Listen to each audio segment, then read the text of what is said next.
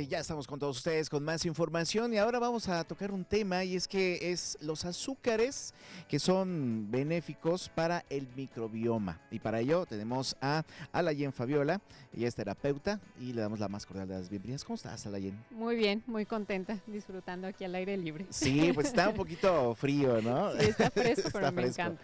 Oye, pues eh, qué gusto que estés con nosotros para hablar de esto y es que hace unos segundos estábamos diciendo, es que creemos que los azúcares son los dulces. Exacto. Y, hay otros tipos de azúcares. Exactamente. Sí, hay otro tipo de azúcares y hace dos semanas hablábamos eh, de azúcares nocivos para el microbioma y hoy vamos a ver cuáles son los benéficos para el microbioma. Sí, claro, los que sí realmente también tienen un aporte nutricional y, bueno, pues si no se, de, todo en exceso es malo. Exacto, sí, incluso este tipo de azúcares benéficos también llega a ser malo, este, en que te puede causar un efecto laxante indeseable o te puede inflamar, Perfecto, bueno, pues eh, platícanos un poquito más. Eh, ¿Dónde podemos encontrar estos azúcares? Tenemos eh, una primera imagen ah, que justo vienen ahí los alimentos más altos en esto que se llama fructooligosacáridos.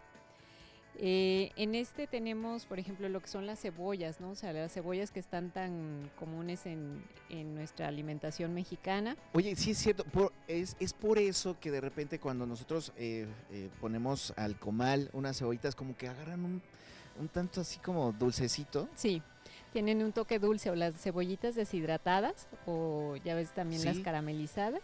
A diferencia que la agarres este, cruda, ¿no? Exacto cambia, cambia su composición. Eh, cuando se va evaporando el agua, digamos, eh, se intensifica la dulzura que a veces no alcanzamos a detectar cuando la cebolla está fresca. oye, excelente. ahora, ahora entiendo, ahora entiendo ese, ese sabor adictivo de las cebollitas este, asadas. Fíjate, otro de los alimentos que a lo mejor no relacionaríamos tan fácil son los ajos el poro. El ajo también, sí es cierto, cuando dices, no, pues es que voy a este, comer una mojarra al mojo de ajo. el, ajo que, se cose, se, dora, eh, eh, tiene otro sabor, o sea, es diferente. También. Los espárragos son otro de estos alimentos los plátanos y también está la miel de abeja y hay muchos más. Estos son simplemente de los que tienen mayor cantidad de estos azúcares benéficos para lo que es el microbioma.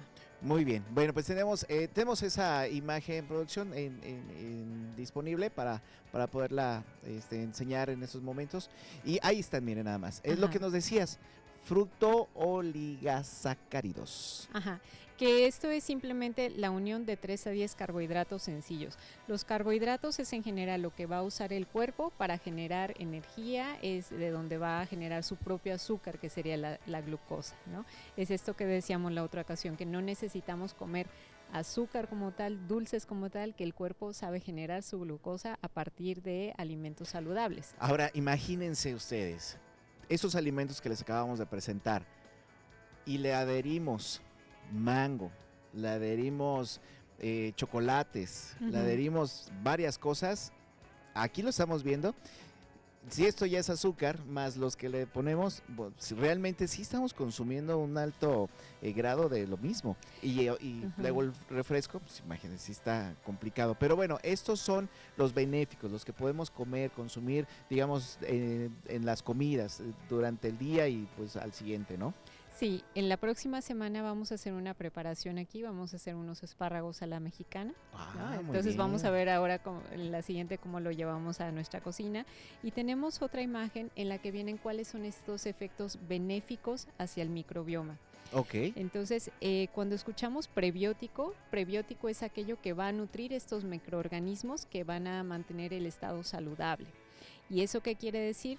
Que van a inhibir el crecimiento de patógenos y por lo tanto la salud en lo que es el intestino va a ser mucho mejor. Muy bien, entonces hay que consumirlos porque a veces pues no, no tenemos como muchas, eh, eh, dentro de nuestros alimentos no los consumimos. Exacto. Otro es el efecto a nivel metabólico. Lo que es el microbioma tiene funciones muy importantes a nivel metabólico, que a veces no identificamos, por ejemplo, una sensación de cansancio con que hay un, desarreglo, una falta de armonía en el microbioma, ¿no? O sea, simplemente uno dice, ay, pues no sé, como que ahora estoy más cansado y demás, y, y en ocasiones se pierde como esta liga, ¿no? Entre el microbioma y esta falta de energía. Sí, y que mucho lo asociamos con el café.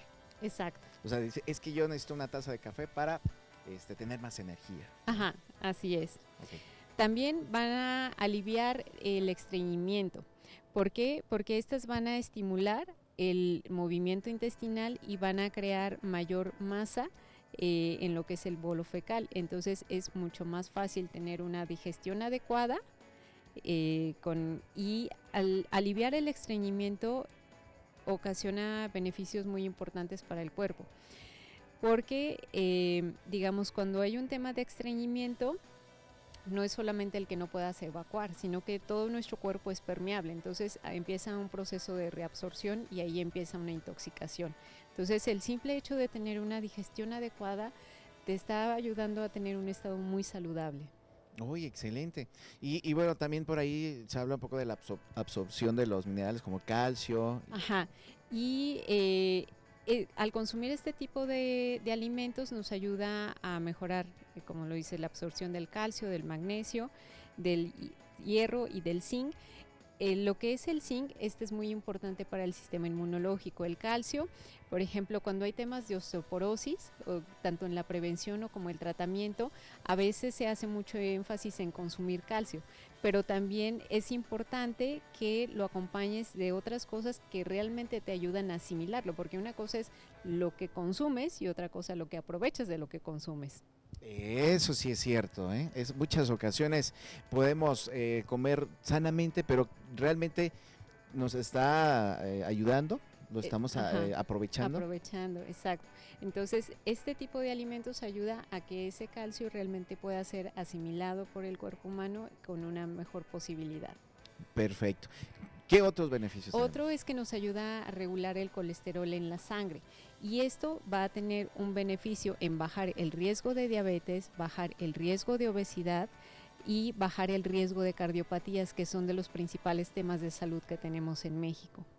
Entonces, no quiere decir que simplemente agrego, por ejemplo, más cebollas a mi comida y sigo comiendo este frituras, este panes blancos, o sea, no no lo va a alcanzar a mitigar todo, ¿no? Entonces, siempre estamos como hablando de un balance.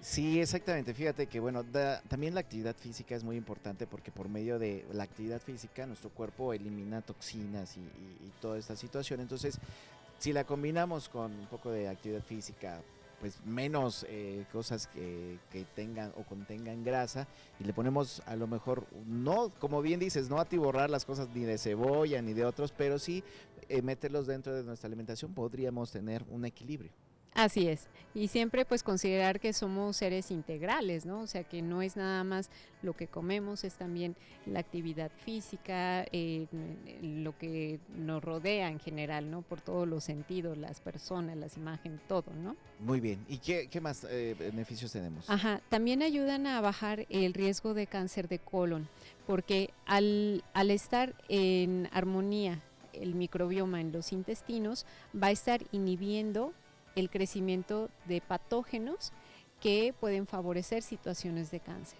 Entonces, simplemente el, cuidado del microbioma es realmente fundamental para la salud. Muy bien. Y también eh, del microbioma sostiene en gran medida el sistema inmunológico. Entonces, cuando tú tienes más alimento benéfico para lo que es el microbioma, el microbioma te va a reportar todos los beneficios con más facilidad, ¿no? Entonces, el sistema inmunológico va a ser favorecido, el sistema nervioso, obviamente el sistema digestivo también. Oye, pues qué maravilla. La verdad es que eh, el tener una sana alimentación eh, no quiere decir que todo va a ser como muy insípido, ¿no? Al contrario, eh, le podemos dar esa variedad, ese rico sabor, con, precisamente con estos alimentos muy nutritivos. como bien decíamos, el, el ajo, el ajo, las cebollitas, el plátano, me llamó un poco la atención ahí también cómo lo, lo, lo podemos este, o sea, cuando se transforma, por ejemplo, hay muchas personas que lo comen este eh, frito. Sí, eso se acostumbra más como en el plátano macho y ahí la recomendación en general es evitar las frituras. Las frituras, ¿qué es lo que van a pasar? Eh, hay em, grasas saturadas o aceites que no son los más saludables para el organismo, ¿no? Entonces, a lo mejor se puede hornear lo que sería el plátano macho y el plátano eh, o el dominico, el plátano más cotidiano, pues comerlo fresco, ¿no? Este, se puede congelar y se puede hacer una nieve, se puede hacer en licuado, se puede comer así, tal cual, ¿no? Entonces, ese sería mejor fresco. La miel, por ejemplo, es muy importante que sea cruda, que no la hayan pasado por calor porque entonces ya no es terapéutica. Y la próxima semana vamos a ver la opción salada con esto de espárragos a la mexicana. Oye, excelente. Pero bueno, también, eh, ¿cómo preparamos los alimentos? A ti te sale de maravilla, ¿no? Combinarlos. Entonces, ah, va a haber talleres. Sí, eh, tenemos talleres. Esta semana estamos teniendo el de germinados y panesenio. Y bueno, pues este es como la manifestación de la vida, así de una semilla inerte a una semilla que, que, ya brota. Y la próxima semana vamos a tener un fermento que se llama agua enzimática y lo vamos a usar en alternativas para hacer yogur vegetal, crema vegetal, quesos frescos pero fermentados. Cuando hablamos de fermentos es nutrición directa para el microbioma. Siempre que le estemos apostando al microbioma nos va a reportar beneficios a nivel metabólico, a nivel inmunológico, a nivel nervioso, a nivel digestivo, o sea, en, todo, es como lo que sostiene la vida por mucho. Ok, este que del último que estamos hablando es de agosto. Ajá. De, a partir de, de, agosto del 17. Ahorita el anterior pues ya está. Eh, está en curso, estamos a la mitad. Híjole. Eh, ¿Se puede ingresar todavía? Sí, todavía. Eh, ahorita la ventaja de hacerlo en línea es que quedan las grabaciones y también del beneficio de ir haciendo el paso a paso, de ir viendo cómo va cambiando la semilla o cómo va cambiando ese proceso de fermentación, cómo está activa la, viva, la vida ahí. Ah, oye, está perfecto. Entonces, bueno, si ustedes quieren, también pueden eh, participar en cualquiera de los dos talleres. En este que ya está en curso, bueno, pues ahí está las grabaciones para que nos pongamos al día. Eh, son, hoy estamos a 12, ya faltan dos días. Así es. Faltan días. Para que ustedes eh, se inscriban y bueno, también aprovechen eh, esta maravilla de verdad de conocer un poquito más de nuestros alimentos eh, ricos y pues nutritivos y sobre todo pues para tener una buena alimentación para toda la familia. Y fíjate que en el caso de los germinados es a muy bajo costo. Los beneficios que reportan, yo creo que es otro de los temas que voy a hablar aquí, son altísimos y el costo es mínimo.